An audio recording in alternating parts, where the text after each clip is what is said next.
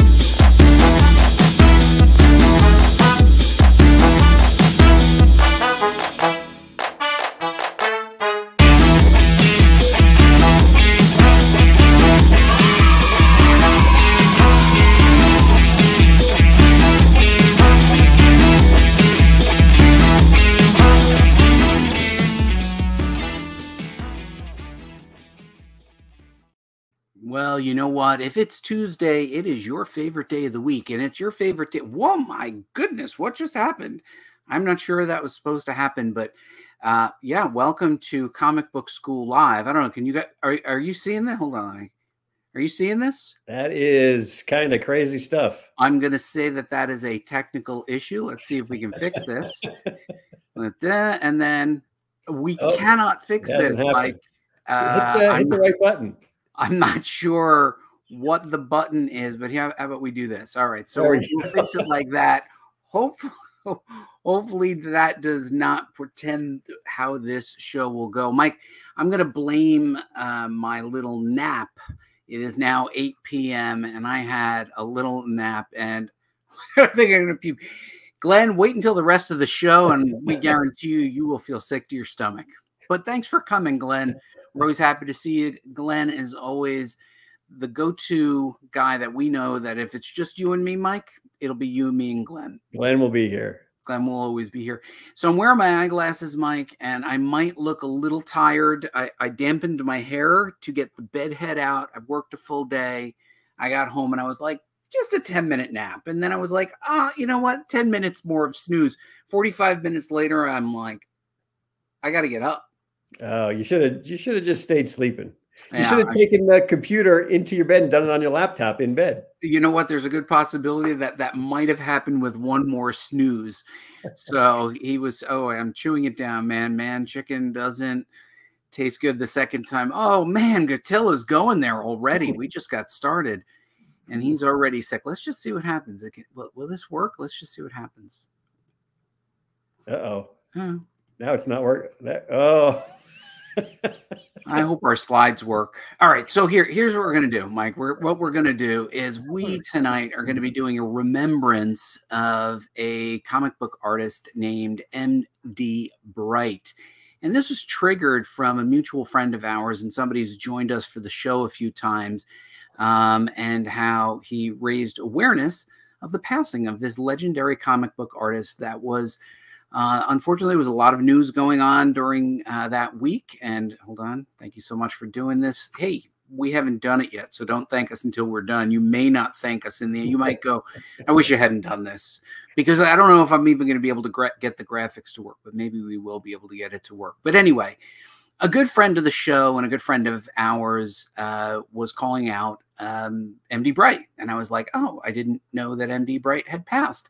And I remembered him uh, from Quantum and Woody and, yep. and some other comic books. And then I started following his Twitter feed and I just thought, wow, wow, we I really did not know much about this artist. Mike, we were working at Wizard in the 90s at the time. We prided ourselves on knowing many of the creators uh, if not personally, but just you know somehow by name. Hold on, he says when sharing stream, minimize live stream. It's causing a recursion session. Oh, what? What? What? Minimize the screen. The stream. Minimize the screen. No, th- this was Shakespearean. Minimize thy screen. thy stream. The live stream. Oh, the live stream. Okay. Thank you. Yeah, I'll have to do that. You know what? Let's just bring our guest in because I think probably that's probably the most important thing that we can do. Please welcome our friend Joe Joseph P. Illidge. Joe, welcome to the show. Thanks for waiting patiently backstage as I tried to figure out the technology. No, you're welcome. Thank you for having me, and thank you for um, presenting this opportunity for this celebration of Mark's life. Yeah, Joe, I think um, what caught my eye, and I'm going to pull up your Twitter stream if you don't mind. Um, what caught my eye was that, you know, there, there was a lot of news. I'm not going to go into the news because I just don't think it, I think it'll just um, be uh, not what we want to talk about. Joe, you had marked uh, a personal friend of yours um, and I started seeing photos, and you were talking about how uh, MD Bright had passed, uh, and you knew him through, I believe, the uh, milestone days. And I did not see all that much uh, out there uh, from the fan press, which we include ourselves in the fan press. And I just thought, well, you know what? I don't know a lot about MD Bright, but you do. And I thought maybe you can lead us through uh, celebration and some contextualization of um, who uh, MD Bright was, both to you personally as a friend and as a comic book professional. All right. I mean, there's so much to the man and his career that this episode will by no means encapsulate it, but you know, we'll give it our best shot. For me personally, as a comic book reader, and I've been reading comic books since I was a kid, I'm confident my first exposure to Mark's work was Power Man and Iron Fist, right? And at the time, he was working with writer Christopher Priest, who at that time went by his name of James C. Owsley. And that would be the beginning of this long standing partnership, this creative partnership, and developing friendship between those two men. And then I remember Mark's work for the Falcon series, which Paul Smith started, but then after issue one, he left because Marvel gave him a shot at Uncanny X Men. And so Mark took over and did Falcons two, three, and four. So he really did the majority of that series. And I think before I got to Milestone, the work that he did that made the biggest impression on me was Green Lantern Emerald Dawn. And I believe that was the first Green Lantern miniseries that did an in depth story of how Hal Jordan became Green Lantern. And I remember the first issue was the most intelligent exploration that I had ever read about the understanding of how the Green Lantern rings work and how it relates to the human capacity for fear. And above and beyond Priest's amazing script was Mark's art. And, you know, it's interesting in our industry, and we can talk about this more later a number of artists that are elevated in media are ones with styles that are deemed exciting or that are aesthetically similar to things in pop culture that are exciting. And then what happens is between in those chasms are lost a lot of truly talented artists who know the craft. And it's not about the artwork being exciting or spectacular or dazzling, if we want to use those kinds of adjectives.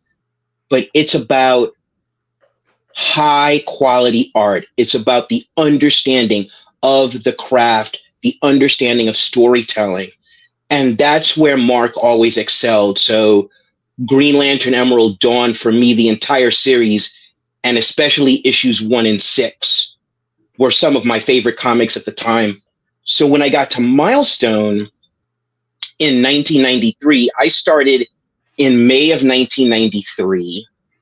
And by that time, I believe that Icon was the second series that came out. I could be wrong. Hardware came out February of 1993. So Icon number one came out either in March or April of that year. So by the time I started interning in May, Icon was already in publication. Well, let me pull back because Icon was definitely in publication. and I think it came out in March, and I'll tell you why. Um, Mark Bright is actually the artist that changed my life. He changed the direction of my life. And I say that because I've told this origin story a number of times, but I'll tell it again because it speaks to this. I was what we call in between jobs. So I was unemployed and I couldn't even afford to take the bus to get to some place that was a walk over 15 minutes. So I remember I had to take this 30 minute walk to a newsstand here in Brooklyn, which at the time was on the corner of Utica Avenue and Church Avenue. And Brooklynites know what corner I'm talking about. And there was a newsstand there and had the spinner rack. And there were a bunch of comic books in there, the same ones you see all the time Captain America, Justice League, The Avengers, Superman. But I saw the cover for Icon number two. And it had Icon and Rocket. So one superhero who was dressed in a uniform that had the colors of the um, African flag, and then his sidekick Rocket, young woman dressed in blue and red, two of the three primary colors, and they were fighting this whole group of riot cops. I never saw a comic book cover reflect a social truth back at me like that. Because we're talking about Brooklyn in the 90s, there was a lot of racial tension. Um, music had become more political in the later 80s hip hop music. I really got plugged into Public Enemy at that time due to some friends that I knew from high school and due to going to college at School of Visual Arts and meeting like the militant black clique who somewhat forcibly helped me start to engage my blackness as a human being. And so icon number two that cover had a profound effect on me. And a friend of mine named Jason Scott Jones was interning at Milestone. He told me about Milestone, and I said, Well, I didn't want to work at a company for free because in those days internships were were not paying. But I saw that comic and I truly had a moment where I knew that I knew that the people making that comic book were going to change the world. Just as a fact and I was like, I don't want to be on this side. I want to, I want to be with them, changing the world. I want to be with the people who are making icon. And so I applied for an internship, which I blew to hell because I had chips on both my shoulders. And Jason stuck up for me, and they decided to give me a shot. And so I started interning at Milestone in May of '93. And I believe I met Mark I would say probably in August for the first time because when Milestone first opened, it was um, at this building in Chelsea in Manhattan, and it had one office space. But within that first year, they expanded to a second office space right next to the first one. Um, and so I think at that time, icon number five may have been the issue that was out, and Icon and Rocket were meeting the Blood Syndicate. And I used to copy all these amazing artist pages full size, and I would take them home and I would have these copies of their pencils. And out of all the artists, Mark was the artist that I copied the most. So when I finally met him, you know, of course I'm geeking out and I'm trying to maintain my professionalism, but I mean, that was the guy. All right. And so here's gonna, wait, here's what we're gonna do. We we we have art to show, Joe. Yeah. And I want to do something real quick. First, before we go any further, I want to okay. set up who you are so that people understand the context to you as a working comic book pro. Okay. So, first things first, um, for those of you who are joining, by the way, someone um, Someone named Tori uh, validated you're correct. It was the second milestone release. Um, I guess you were talking about Icon. So somebody named right. Icon World goes by Tori. Yes. Uh, and, and thank you, Tori. And then Comics Are Dope says, Man, I envy that job. LOL. Yeah, I envied it too. I kind of wish that I had gone on staff working at a comic publisher too. Don't you, Mike, sometimes? I wish I did. Yeah. There's a lot of things I wish I did. And some, of, some, Some of them are more repeatable one. here. So, uh, Mark uh, D. Bright, MD Bright, I guess you guys sometimes called him Mark, sometimes called him Doc because of the MD. Uh, passed away. There's an article on CBR that has a has a very nice remembrance of him. Uh, some of the background that you shared is more personal than than what we saw. You know, they they're they're more factual. Um, this was the tweet that got me interested. So for those of you who are joining a little bit late, and my dad who is watching right now, every, everybody just say hi to my dad, please, because my dad is watching. Let's hold on. Let's get a little round of applause for my father. Thanks. Thanks for tuning. Also uh, tunes in, but so does my dad. So um, real quick, Joe, uh, just for some context, uh, you are a successful working writer, editor, publishing consultant. Um, you're out of New York. Just make sure we capture who you are. Uh, you have also worked at many publishers, including DC, Milestone, uh, Heavy Metal. So give us the Joe Illidge uh, uh 30,000 foot. Wow. Well, it's not really about me, so I'll keep it brief. You know, right now, I am a freelance editor. I have private clients, and I'm really doing a lot of writing. Something that I'm working on that I'm very proud of is the middle grade uh, graphic novel adaptation of the Harriet Tubman novel that was written by Ann Petry. And the latest edition has a cover by one of the most amazing illustrators of our time, Kadir Nelson. So I've learned so much about Harriet Tubman that I'm really humbled to have the opportunity to do this. I'm writing a variety of things that are going to be announced this year. But, you know, the most pertinent thing is my career started at Milestone in 1993. Milestone showed me what my purpose in life was because being a black comic book geek child of the 70s and teenager of the 80s basically meant that I was a social pariah. We're talking decades before the MCU and everyone knew the name Thanos. and I wasn't sure. I went to High School of Art and Design and I went to the School of Visual Arts here in New York. And so I have an understanding of art, which has made me, I'm going to say, a better editor than most. But being an artist, that was not my fate. And I didn't know what the direction of my life was. And when I saw Milestone and it showed that my admiration and love of comics had a business application, you know, that was stage one. But the real eye opening purpose was that comics was inadequate and this world was inadequate. And everybody from every ethnicity, walk of life, um, sexual lifestyle deserve to have a voice and a place in comics, just as they deserve to have a voice and place in the world.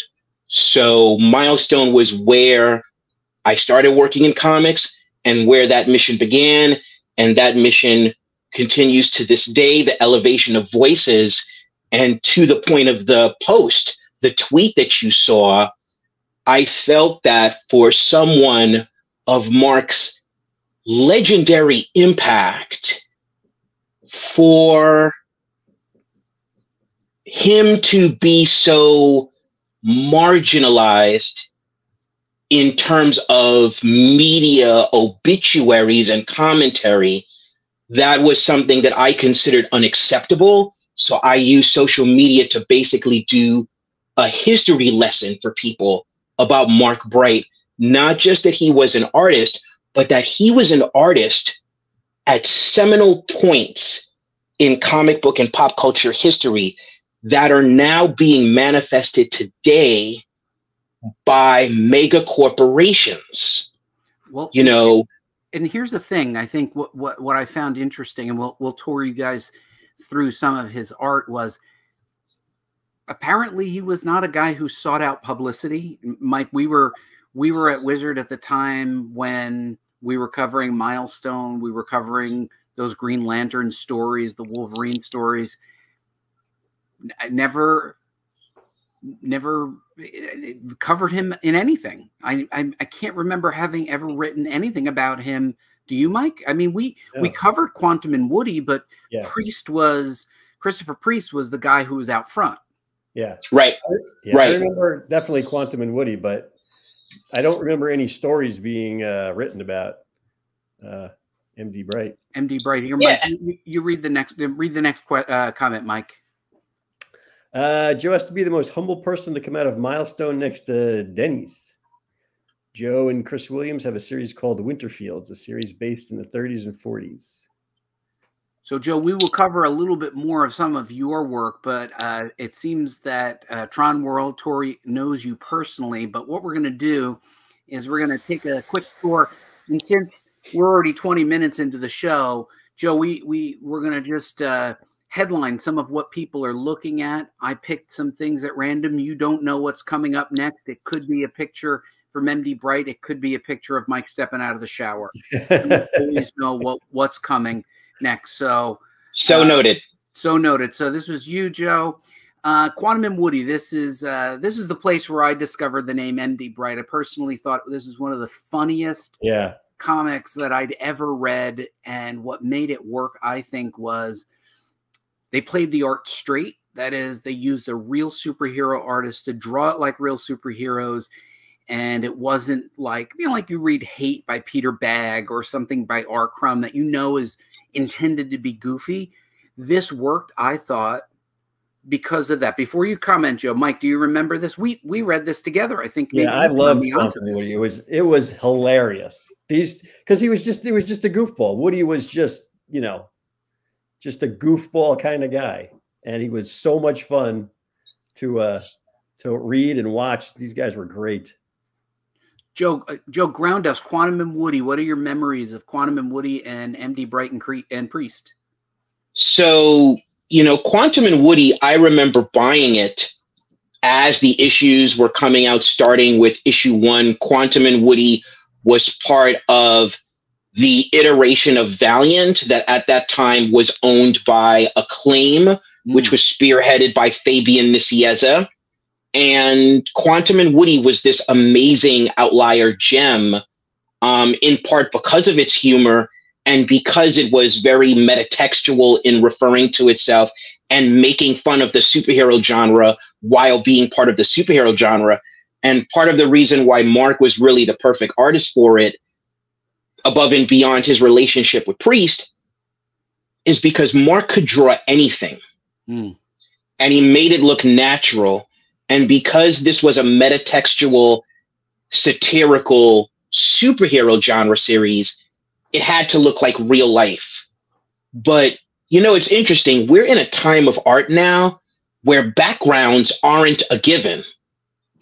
And the absence of backgrounds is absolutely acceptable in mainstream comic book art. But people like Mark came from a generation where you had to be able to draw everything everything.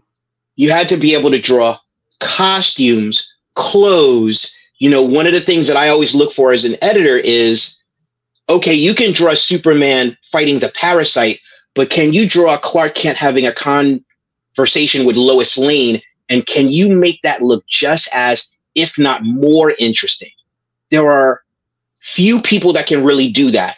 Jose Luis Garcia Lopez being on the Mount Rushmore of human beings that can do that. But Mark was there too. Mark yeah. could draw anything. And so he was perfect for Quantum and Woody. Quantum and Woody ran, I believe, three years.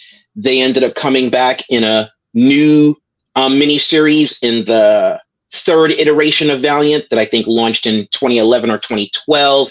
And funny enough, there was a character called the Goat. Quantum and Woody had a goat, and the goat became the most popular character of the series and the goat got a one shot and the goat got profiled more so that also spoke to kind of like the absurdity of things and they ran with it but you know what but mark drew a goat he drew it he well, drew a goat with a with a with a mask and a cape it worked now to your point of, of drawing um you know backgrounds i mean if you just you're an artist you know he's got three planes. He's got an extreme foreground. He's got the heroes in the mac- midground. He's got the buildings in the background, and he's even got a really deep fading point perspective. I mean, and it's all there in the pencils, right? And and I, by the way, I pulled this off of uh, MD Bright's website. You can find uh, many of these images and uh, pre-colored sketches there on the website. Um, incredible perspective on this, right, guys? One hundred percent. I mean, you know, when you talk about art, you talk about one point perspective, two point perspective, three point perspective. We know that Mark knew all of those. We also know that Mark understood lighting, right? Um, we obviously know he understood depth. He understood storytelling. Um, he knew how to lead the eye. The man knew the principles and he excelled at them. And, you know, to your point about the awareness of Mark, I mean, we have to remember that social media is a recent invention. And until then, it was basically artists would be seen getting together at conventions. But before that, artists were living the life that most people learned to live because of the COVID 19 pandemic, which is they were home all the time and they were doing the work, right? There's a reason why Jack Kirby went one way and Stan Lee went another because the first person was the guy at the table seven days a week smoking, doing the work. The second guy was a genius and he was the P.T. Barnum of the comic book industry. But it's these artists who were doing the work. And for them, maybe psychologically, or maybe just in terms of life priority, or even the practicality of time, they weren't out there promoting themselves.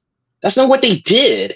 They were doing the work. It's now with social media and a variety of other factors that now artists have to be their own marketing and PR mechanisms. But, you know, back in the 90s, well, a lot of artists were not about that. Yeah, well, it was all print medium at that point, right? And and you know, there was a couple fan publications. Um, apparently, I missed this one somewhere along the way. You you may have uh, quoted Dwayne. I'm guessing Dwayne McDuffie. You maybe something when you commented on the art or something. I I might have. If I did so, it wasn't intentionally, but I'm I'm honored that Dwayne and I were aligned in our thinking in almost anything because, of course, Dwayne is one of the most intelligent human beings that the North American comic book industry was ever blessed with, one of the most insightful and humane writers. And the work that he and Mark did on Icon spoke to that humanity and spoke right. to that optimism for a better world. Here's what we're going to do. We're going to take you through a few more because we got some of these images and you're talking about things and I want to be able to do show and tell with you. So we got Quantum and Woody. Uh, there was this Emerald Dawn. I thought this was a tremendous series. Mike, you, you read this too, right? I'm sure I read it. It's, it's been so many years, I don't remember much of it.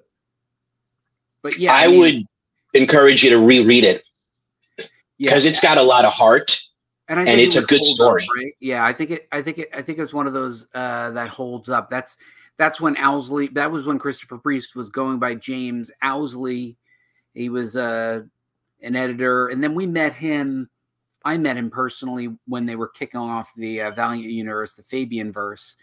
Um, right. Apparently, uh, Bright was a uh, sought after uh, cover artist. Joe uh, mm-hmm. went into the fandom uh, websites, which, by the way, if you don't use the fandom um, websites, uh, they're great resources. Um, yeah, one of the best Green Lantern series ever. Agreed. Emerald Dawn uh, broke new ground in the way stories were told. Priest did tell stories in a in a different way. brought a different type of aesthetic. He brought almost like a like a television aesthetic to it. The way he broke uh, the story up. Um, amazing things he does with perspective and size. Um, you know, just look at those covers. At those you covers. don't get a Batman cover like that anymore, where you see so much of the environment that's a hard cover to do, right? That that's that's right. That, that takes a lot of time and thinking, and I think this is also very thoughtful. The the way he knew the logo would trap over here Valor versus Supergirl, mm-hmm. way he he lays this out and shows the risk. You, you, these are two covers that you judge the comic book by the cover. You you want to open the co- the comic.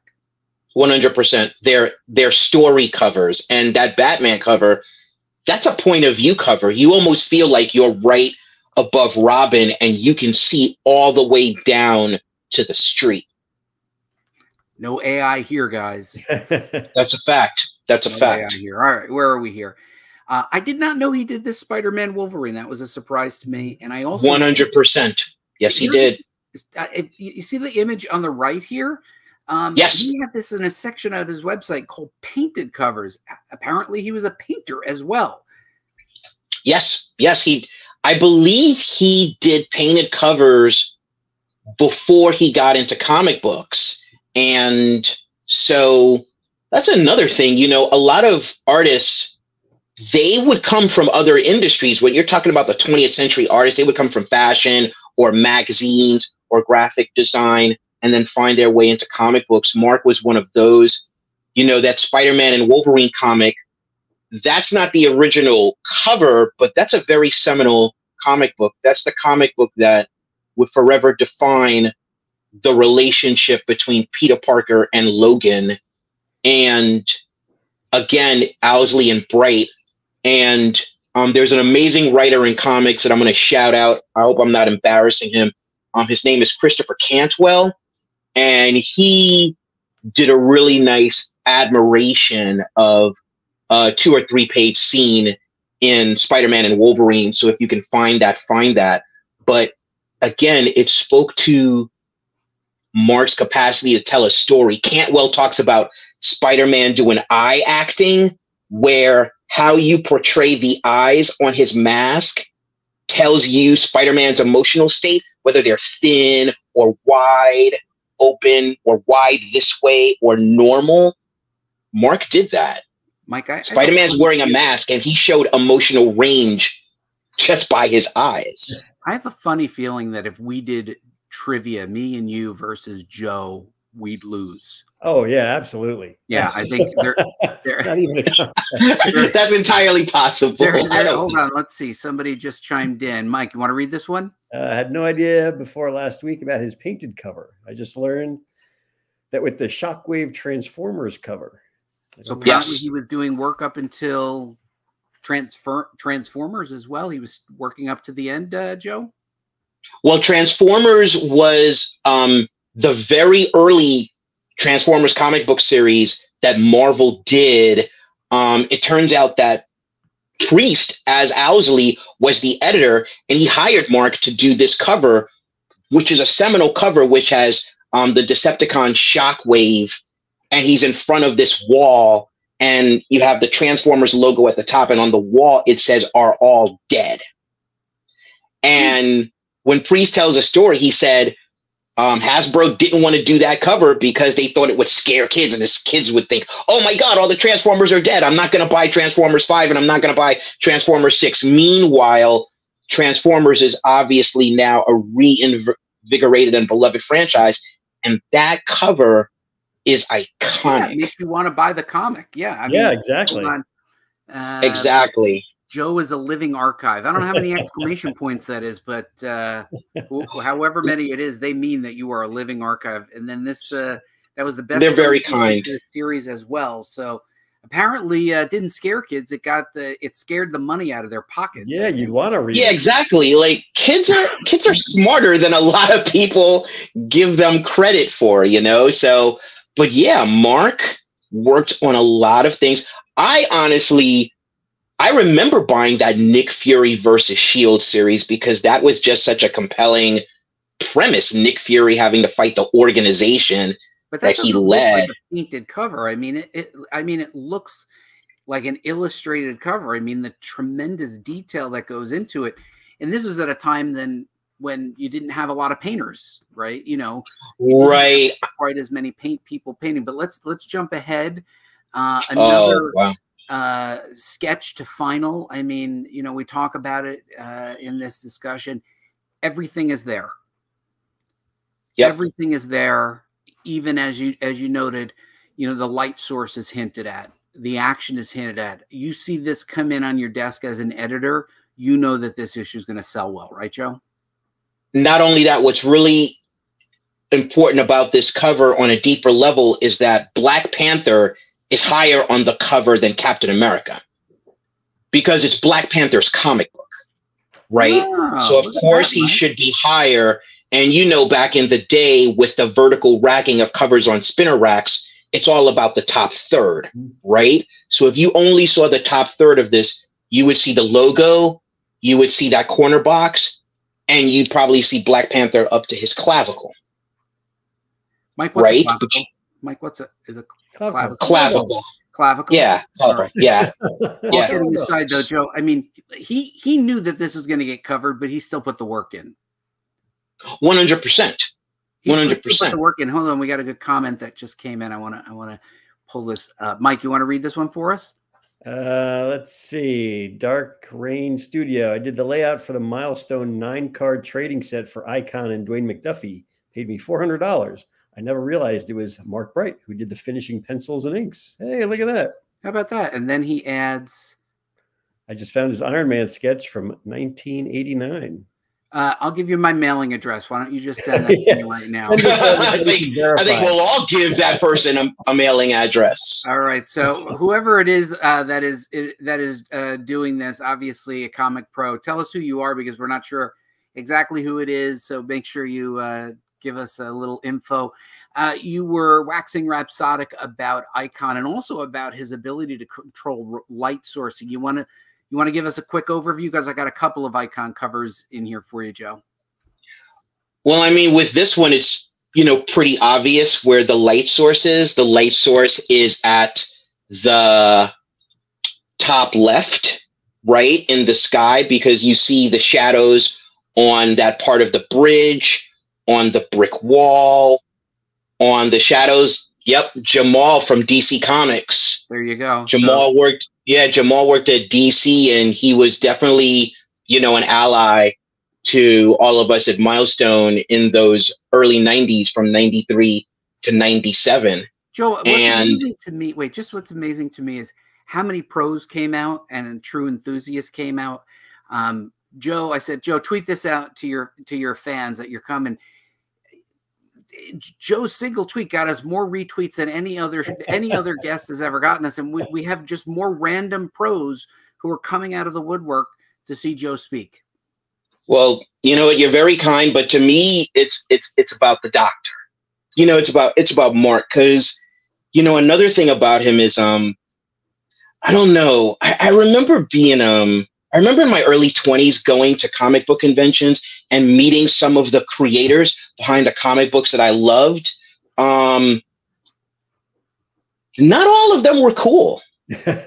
some of some some of them were obnoxious, like really obnoxious, yeah. and I just I just didn't get it.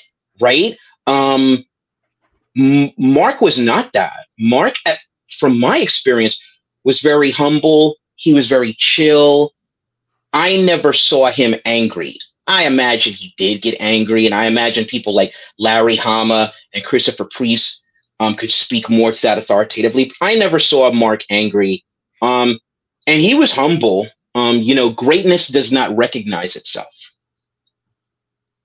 Hmm. He didn't. He didn't. He didn't. No, just like Mark Gruenwald. You know, part of the tragedy of Mark Gruenwald was he didn't know if he had made an impact, and I'm like the Marvel Cinematic Universe is, is embedded with people like Mark Gruenwald and Mark Bright. Embedded, right? We're going to get an Armor Wars. Either it's going to be a streaming show, or it's going to be a film. Mark drew the first Armor Wars storyline. All right, okay. real quick, we got we got a comment here. That was Jamal, 1988. That was Jamal. I, oh no, wait. So Jamal, you came on board in 1991, and then he was thinking of Jamal Igle and fellow classmate in Art Design and SVA. Different Jamal. No, I'm I am talking about I know Jamal Tate. So when I mentioned him, he was an employee of DC and he was a major. You know, he he talked with all of us, the milestone employees. So I remember Jamal Tate, who's different no, no, no, from Jamal. You don't realize our, our audience is, is talking amongst themselves, Joe. Oh, got you, got you. Okay, They're talking okay. amongst themselves. I, I, I Oh yeah. All right, Got so let's you, keep got you. going on because this is a showcase of uh, of of of MD Bright, another uh, amazing color. I I have to call out the colorist on this because I do think that the colorist uh, chose some great colors to really make this pop. But of course, you know, uh, MD Bright gave a lot to work with, and all that negative space and all that that black hundred percent. Yeah. to work with, you know, and ma- just the the positioning on the page, the way your eye travels, and you can see the the the arc of the of the character, and that brings your eye up here, and it makes you go, all right, what's happening? I want to read this. I think the colorist for this was Jason Scott Jones, the guy I told you stuck up for me, and so I got accepted into the Milestone internship program. In time, he became the color editor for Milestone, and I believe he colored this cover. Well, it's a beautiful Yeah. piece of work, and let's see what else we got. Um, this one, a little surprise, uh, unexpected. Uh, so, for all of you talking amongst yourselves, uh, tell them what we got here, uh, Joe. So, you know, Milestone and DC Comics did a crossover called Worlds Collide, in which the Superman um, office crossed over with the entire Milestone Dakotaverse. And so there were DC Comics that all the characters appeared in, there were Milestone Comics that all the characters appeared in. So in Icon 16, which was Icon versus Superman, the image on the right is the one that was published. That was not the first one that Mark did. The first one that Mark did is on the left. And at the time, I was not privy to the editorial conversations. I wasn't part of the editorial um, department yet. But if I can put my Dwayne McDuffie cap on for a minute, I would say the problem with this is that Superman is larger than Icon, and it makes Icon marginalized on the cover of his own comic book. Huh. And so the version that we got has Superman and Icon equal status, equal size on the cover. Superman was given the respect of being on the left, but still, these two people psychologically they look like equals. Whereas in the first one, psychologically, Superman looks more powerful.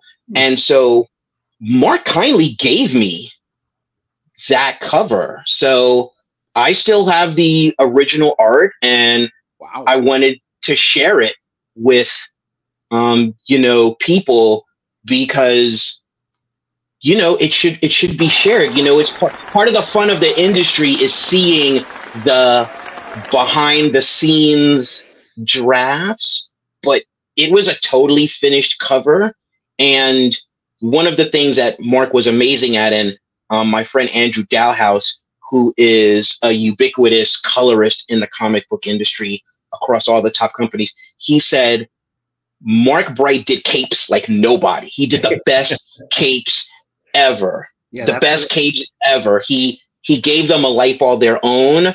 Um now, you know, I think you know, I, I- I'm gonna put Bernie Wrightson in there, and then later on, of course, Todd McFarlane would go bananas. But even Todd McFarlane's chiseled capes, there's this seminal Batman cover he did, which has the chiseled cape, is very reminiscent of how Mark did the chiseled cape. The capes that look like, you know, they were they were sprayed and, and starched and ironed. They look so crisp and perfect and so unreasonably large, but amazing. Yeah, but so here's here's an interesting thing I, I, I'm noticing. Number one, look at how far down they pushed the logo. How he still had to make this work, even though I would say that Superman logo is almost fifty percent down on the page. So it's really squeezed the art, and yet it still works. Uh, I never noticed before the superior. Uh, what what did you say? The the superior positioning. Exactly, because he's on the left and because he's bigger and because he's closer to camera, psychologically he's more powerful. And it's Icon's comic book. So again, compare this to the Black Panther cover that we saw earlier with Captain America guest starring, but Mhm. Black Panther's the one at the top. Mhm. Right? Fascinating. Mike. Because- did you ever know that? I never knew that. Yeah. Yeah, these things are all psychological. Imagery is psychological. Positioning, coloring, light, shadow. It's part of it's part of the the genius of comic books. It's part of the power of artists. Artists have artists have such amazing power and I don't think people understand how much labor it goes, it involves to do a comic book month after month after month. That's labor. I am just noticing something. If you look at the Superman, it's almost an exact mirror image of what he did in the final with Icon. So he was so versatile. Yeah. He was so versatile that he drew it one way and then he was like, you know what? I still like that pose. I'm gonna draw it the other way. Right. That's he flopped it. Right. We we would flop it today in Photoshop and we would call it a flop, right? We, but he literally yeah. redrew. That's how that's how skilled he was at anatomy that he literally made this image, this image almost the exact same pose because it is a great pose with the knee up, the the the fist out, and the silhouette is perfect.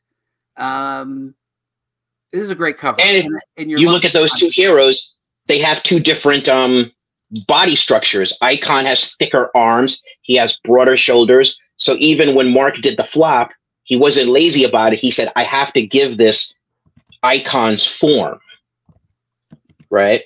Now, I, I got to tell you, I remember, I remember at the time, what was the one that I, what was the one that I liked? The, uh, uh, it was the series, not Static Shock. Blood Syndicate. Blood Syndicate. Yes. Yes.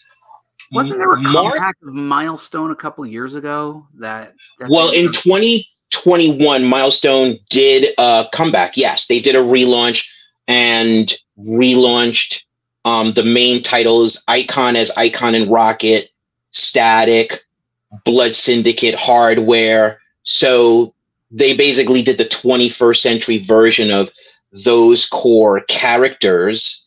And so, yeah, it's great to see the characters make the century jump and engage a new audience and re-engage the existing fans but again the the archetypal versions of these characters as we understand them is because of the artist who did so much work that it embedded a look psychologically into our minds. So when we think icon, no matter who draws icon, Dougie Braithwaite, um, even Denys Cowan, who designed icon, I believe, um, Mark Bright's icon, Mark Bright's rocket are the most recognizable versions of those two characters. Well, I want to, I want to, I want to pause for a second because there's a comment here Mike, it's a two-part comment. I'm going to take a drink of water. Can you read them read them out for me? Because I think what this person just said in the in the chat, Joe, has a similar parallel impact that it had on your life. Go, Mike.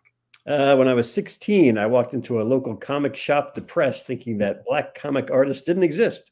The shop owner owner told me of Mark Bright, who is a favorite comic artist. I never knew. The comic shop owner lifted my heart that day and changed my life forever. How about that, huh, Joe? Not not too dissimilar from your experience. One hundred percent. Um, you know, there was there was a real life changing moment for me when I walked into the offices of Milestone for the first day for that interview. it was full of people of color, and the four founders who each had their offices were black men, but you know, there was a time early on, I think as a teenager, that I didn't know that Denys Cowan was black. I don't think I knew Denys Cowan was black until I saw the Dewar's ad that he did of Dewar Scotch. And then I was like, holy Toledo, because we're talking about pre-Wizard. The 80s is pre-Wizard. These guys, what anybody looked like except for Stan and Jack, right? Yeah.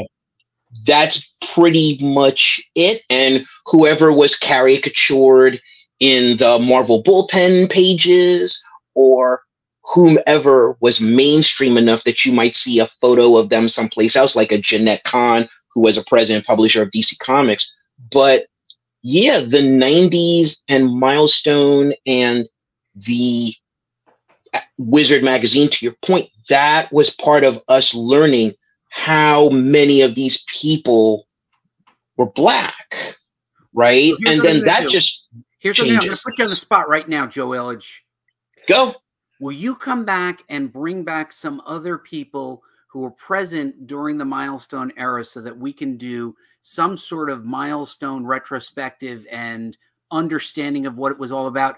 Yes or no, right now, Joe? I'll take a shot at it. I will take I will take a shot at it because that's cord that's coordination, but I'll take a shot at it because you know, milestone is something that is indelible in comics. On a loop. Hold on, Joe. Cheering's on a loop. There's so much cheering, so much. So much. Oh, what, so we're almost out of time. So you're gonna you're gonna try to come back and bring back some people who can help contextualize what milestone meant. And um and it look there's still a few more comments joe and we got we're gonna have to go in a minute but uh, a couple quick comments. Uh i wish they had gotten mark for the icon versus hardware series. Joe thoughts? Um i'm not qualified to comment on that and this is not the place to comment on all right then how about this one hey black star thanks for texting me the link to this video apparently black star will help spread the word Thanks, and then for the uh, for here here you go, Joe. For for the milestone uh, retrospect, Lisa asks, please say yes. And then hold on one thing. In many ways, because of Mark Bright, I moved to NYC, and Milestone became my first internship. That internship helped me become the professor I am today. I don't know. That deserves All right. So, Joe, thank and you. And that's so Stacey Robinson, by the way. Stacey Robinson is a real seminal figure in um, Afrofuturism and the fusion of comic book art education and um, the whole art world, the fine art world. Well, I am grateful that you brought um, so much uh, history. I was.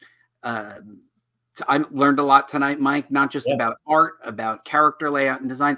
There is one more thing, Joe, and I thought this was interesting. I was looking for photos of uh, MD Bright. I said, Do you have any candidates, anything like that? That, oh, somebody said, Valentine De Landro. Thanks, Joe. Yes, thank you, Joe. Um, yeah, and Valentine's an amazing artist in comics. Did um Kelly Sue DeConnick's Bitch Planet, among many other things. Wow. All right. Here we go. So this was interesting, and I want to just show this because MD Bright had put this on his his own personal website. Uh, apparently, uh, a musician uh, who would play in church, so he has videos of himself playing. Did you know that your friend uh, was also a musician, Joe? I would find that out later, um, and that he re he he reengaged his um, faith with God and our last correspondence was a year and a half ago via email. But I did know that, and and it really warmed my heart because when you're in comics, especially now, people wonder, could I do something outside of comics? What would I do if I didn't have comics? But he had music. He had another form of art, you know, and he found his way back to it. So I think it's, it's amazing. Think it's great. And uh, I echo this. Uh, great interview, Joe. Thanks so much. Uh, you are an excellent guest. Um, we're just about out of time here, Joe. Uh, before we let you go, um, where can we find you? What are you working on, and what's coming next this way? People who uh, appreciate what you've shared tonight know where they can find your work. All right. Well, first off, thank you both again for this opportunity to celebrate Mark's life. Um, I can be found on Facebook as Joe Illidge, Twitter and Blue Sky as Joseph P. Illidge, LinkedIn, Joseph Philip Illidge, um, Instagram, Illmaster1, and josephillidge.com. And if you look at some of those socials, you'll see the kind of history lesson of, of posts that I did, which still does not totally encapsulate Mark's career because we didn't even get into the fact that he illustrated I think Snake Eyes origin in GI Joe, but hmm. that's another story. There is another time interview. for more stories, uh, and the reason there's time for more stories is because we, oh wait, hold on, this is a longer one. Thank you all for celebrating his pastor accomplishments and talking about him. He was a great man. It was a pleasure to meet him. He was such an inspiration to me as a young artist at the time. I I have never seen quite this many comments uh, for any interview. Did we, Mike? Yeah, I mean, no, this is it. This was the big one. and and then by the way, guys, he loved drawing GI Joe. was his favorite book to draw. So he did he did amazing work on Snake Eyes and Scarlett. And you know, if we could say one thing before we leave here, it's that um, I would say two things. Number one, unfortunately, I never took the time to tell Mark that he drew the comic book that changed my life. And I regret that profoundly. So if there's someone out there that did that for you and they're still alive, let them know that they did that. And secondly, let's appreciate the artists who have the skill and not just the artists who have the skill who are the most publicized. Let's really just remember all the people in between who do it for the love and are not necessarily getting wealthy, but um, who are a gift for us. Ah, I love that. And hold on, let me get to the to the clapping. Let's. that was a good way to end. Joe, we're going to put you in the green room uh, where Mike has provided snacks. As I've noted, uh, when you're in the green room, don't do anything awkward because sometimes we do pull you back in for a last minute question. Uh, Mike, what what is waiting in the green room right now for Joe? Uh, tonight there's Fig Newtons and SpaghettiOs. Oh wow! all right, all right. I mean, that's that's the dinner of champions. Because okay? it's carbs and carbs. That's all you need. So Lisa said, "Amen." and very well said. I agree. Very well said, Joe. Hang out in the green room. We'll, we, we won't we won't leave you back there too long. Okay. Thanks. Thanks again for joining us tonight. Thanks, Joe. Yeah, you're welcome. Thank you for All having right. us. You know what I love about this show, Mike? What do you love about this show, bud? I love that no matter how smart I am, and I would say that I tend to think pretty highly of myself. I have an uncanny ability to bring it back to myself uh, I still learn something in every show. I mean, yes. it, it, either be it history, uh, page layout, uh, the way artists will sometimes have to draw something and then just draw it again, yeah. the generosity. Uh, but more than anything, sort of like that seminal moment where you something clicks and you say, "This is what I want to do with my career." Yes, this is the, there was a here's a good story with that that moment that changed my life. That's like that's the key that sent him down the path where he is now. Yeah, and, awesome. and and to, for the, for that that moment where this person changed his life, and then he got to work with that person. Yeah. That's incredible, and I think the stories behind that. By the way, uh, Joe, I have to tell you, you're a good, you're a really good storyteller yourself. Well, thank you very much. And I'll can I leave you with one more little secret? yeah, to tell you about who Mark was. Yeah. So Mark was so generous that while I was at Milestone, and again, remember, I'm working at and I'm this young guy. I came up with this pitch for a DC comic book that had Our Man, Sun, and like the new Doctor Midnight, who was black, because I was a big fan of Crisis on Infinite Earths. And I said, hey, let's work up a pitch and pitch it to DC. Do you know he did character designs for all the characters and we pitched it. It never got passed, and probably wisely because I probably didn't have the writing chops at the time. But I want you to think about this. This guy took his time to do the character art for this pitch that a young guy wrote, and he took it to DC Comics. Wow. That's generosity. Yeah. Right? So I, I don't know if we got that in about this man, but this man was a generous human being. That is generous, huh? Yeah. I feel bad about putting Joe back into the green room, but Joe, you got to go back to the green room now. nah, that's fine. There's spaghettios there waiting. so you got a wow out of that story. All right. Yeah, there's a lot of wow. And I think, you know, it, what's great about this show is we do this every every Tuesday. I know. Wow, right? A lot of wows out of there. We do this show every Tuesday. Thank you so much, everybody, for joining us. Uh, be sure to do the like, comment, and subscribe.